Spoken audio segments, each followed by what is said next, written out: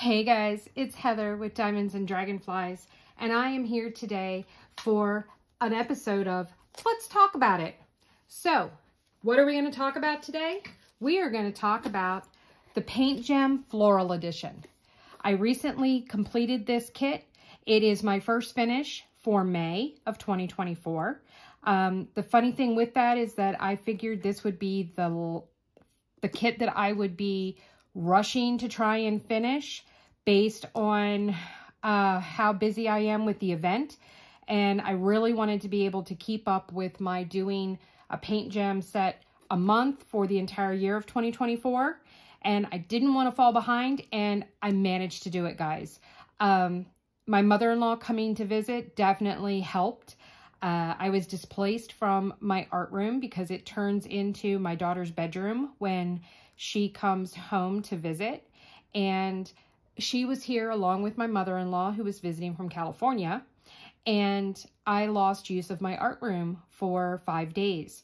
Well, during that time frame, I needed something that was portable that I could take downstairs to work on.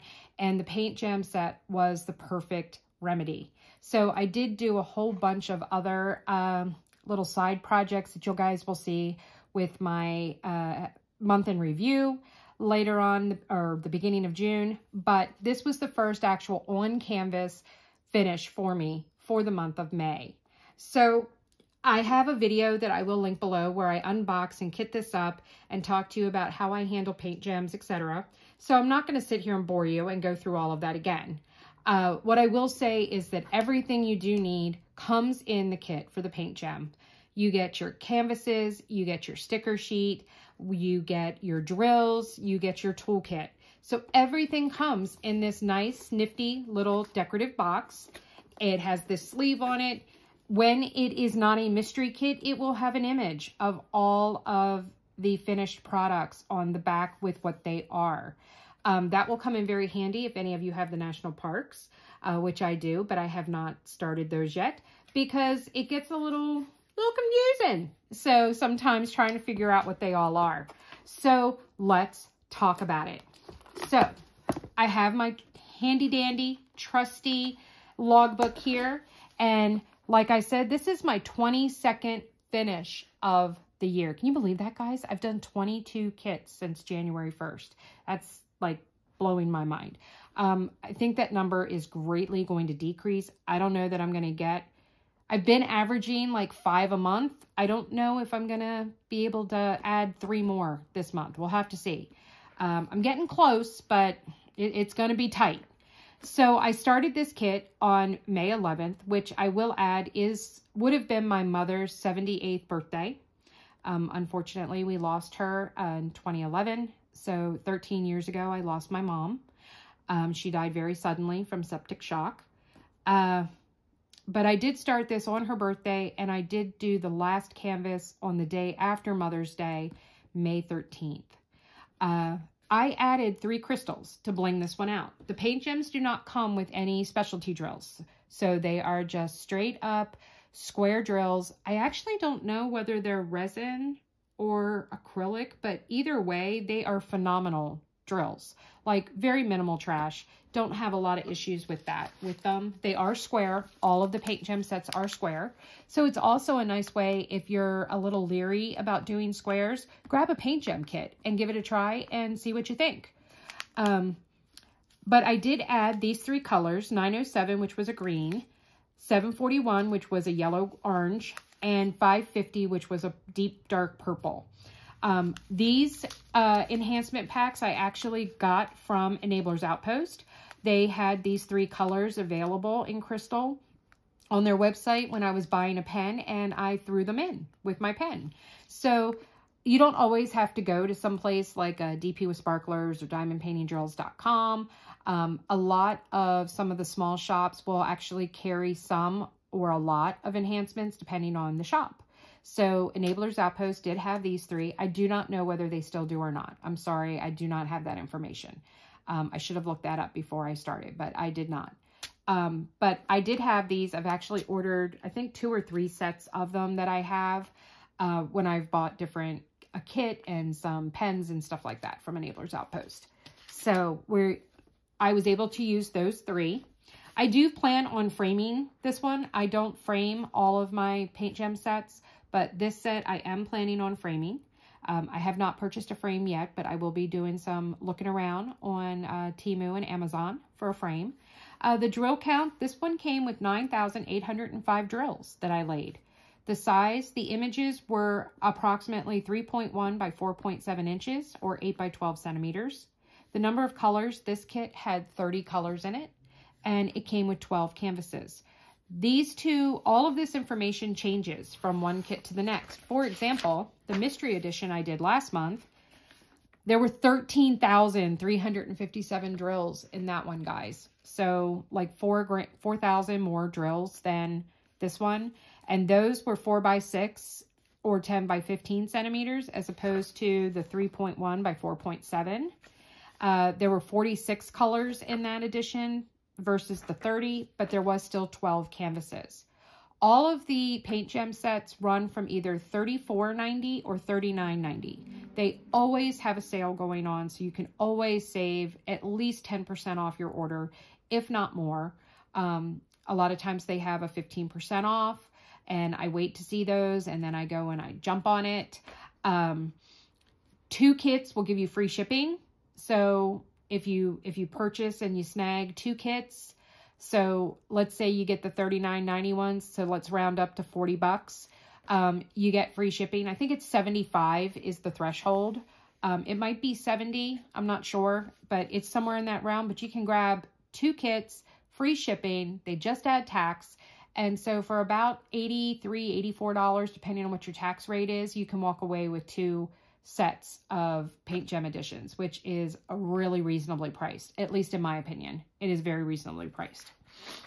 Um, but then, for example, if we go back to, hang on a second, I got to go back to March to my paint gem set. Here we go. The Mandala edition, that one had 12,000. 10 by 10 centimeters, 30 colors though still, and 12 canvases. So it all really has a large range. So let's take a look at them. All right, I'm going to flip it over so that I don't mess up the names of all of them. All right, and let's take a look. So this was the iris. This one had all three crystals in it that I chose to use. So there, here's the 907, and then we have the 550, and then the 741. I really think that the crystals really add a nice little zing and pop to the image. And we will compare it next to one that doesn't have any bling because I do have a couple that I did not have the appropriate colors for. So, all right, so there's our first one. I'm going to lay that up there. Then here we go. Here's one that did not have any bling in it. Here is the rose. And I did not have any reds in crystals that would match. And the green that I used was not part of the foliage in this one. So as you can see, I mean, yeah, they're different colors, but I really think that if I would have had like this dark red in uh, crystal, that that would have added a really nice pop to the canvas. But it's still beautiful regardless. The next one is the White Lily. This one is really pretty. This one had the orange, the 741 and the 907. So this had two of the three colors. Then this one is, what is this one? This one is the violet. This one had all three as well. We've got the green, we've got the purple, and we've got the yellow orange. So all three enhancements were in this image. Then we have the lavender. The lavender just had the purple in it, and that is just gorgeous. I just really love how that emphasizes and makes a little pop for the lavender. So I think that really looks good. Then this one was really cool. This is the pink peony. It had some of the orange in the center. So as you can see, let me see, can I zoom this in any further? Yeah, we can. There we go. There you go. There you can see the crystal in the image. So that looks really cool. And it adds that nice little zing. I would have liked, though, to have had like the dark um, pink throughout here. But once again, I did not have anything that matched that. And I didn't want to wait to order any.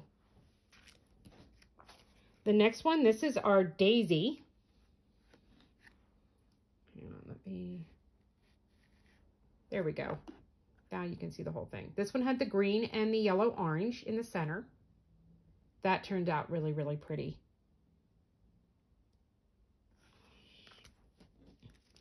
Then we have the lotus. This had the green and the yellow in the flower. Once again, I wish that I would have had that dark pink. I think that really would have added a little extra zing to it. I like that word today, zing. Zing is my word today. Then we have our bluebells. This one I loved as well. Now, this one didn't have the color to have in the orange. It was a different one, but it does have the green, but not the purple or the other. And I think it really adds a nice little emphasis to this one. Then we have our tulip. This one just had the green. Once again, I would have loved to have had the dark pink in crystal for this one. And these are just some suggestions for if you're thinking about doing this kit.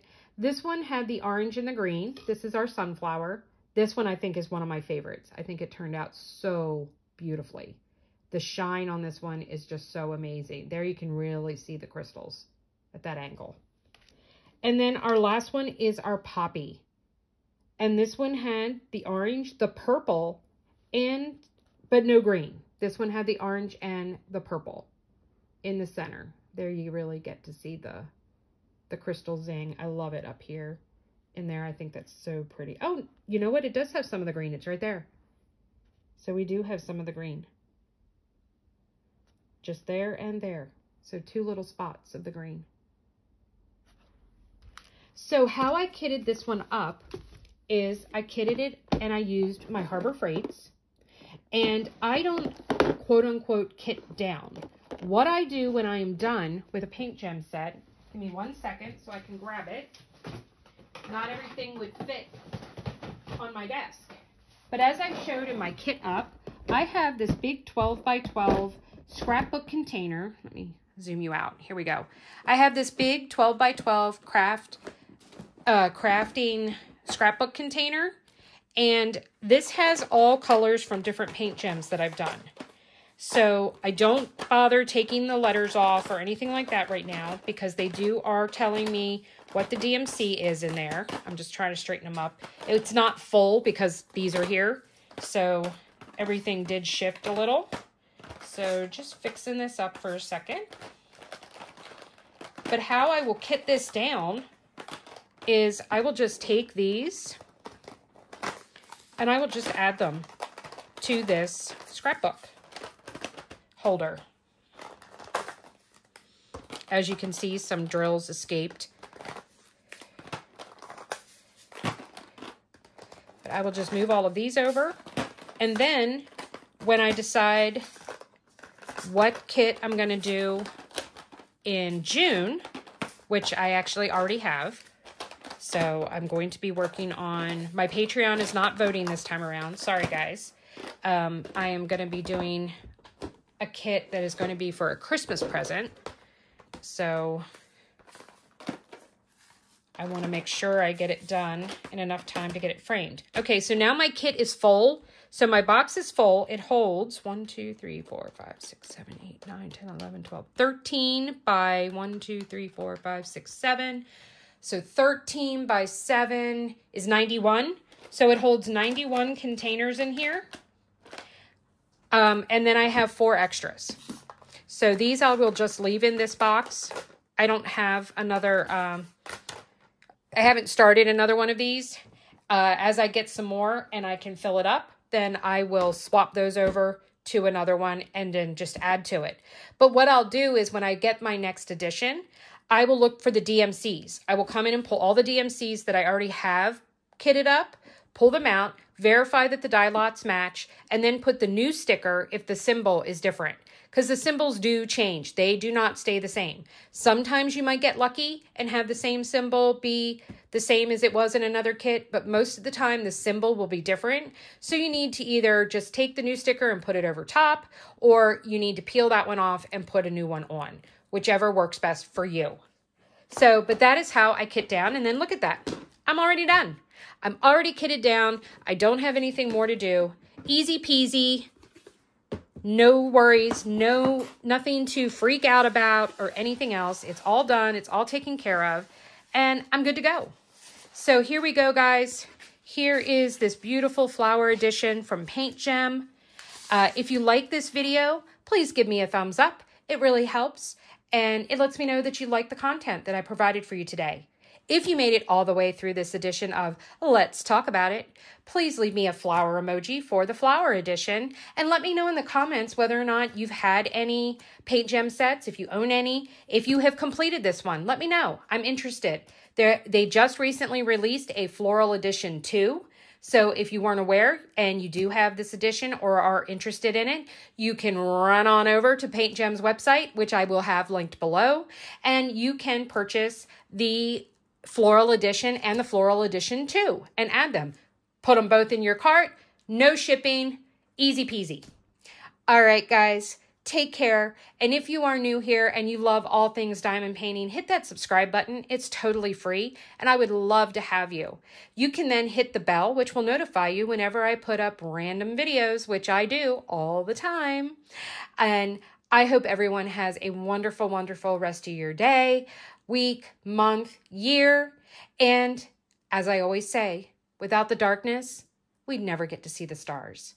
Till next time, guys, bye.